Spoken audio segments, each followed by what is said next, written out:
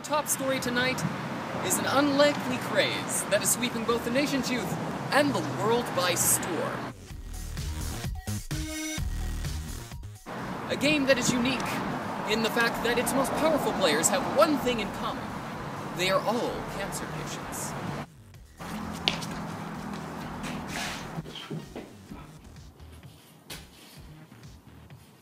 Hey mom, can't talk, interview's on. It's called Cells with a Z. The premise is simple. Repair the most cells in the game, beat your friend's score. But what makes it a treatment for leukemia is the Virocom implant, designed to actually repair cells in cancer patients as they repair cells in the game. We're here with Dr. Uh, Jamie Brown. Tell us more about the uh, tech behind the Virocom.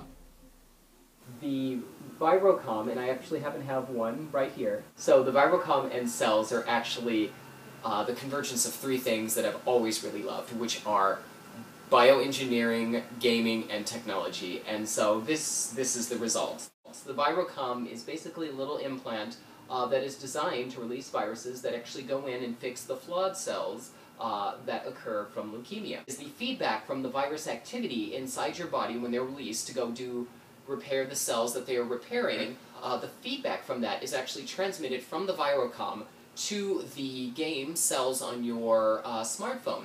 Um, anybody can play this game, but the ones that get the maximum benefit for it, uh, in more ways than one, obviously, are the patients. Alright, well that's all the time we have for today. I'm Ken, and this has been 60 Seconds on Tech.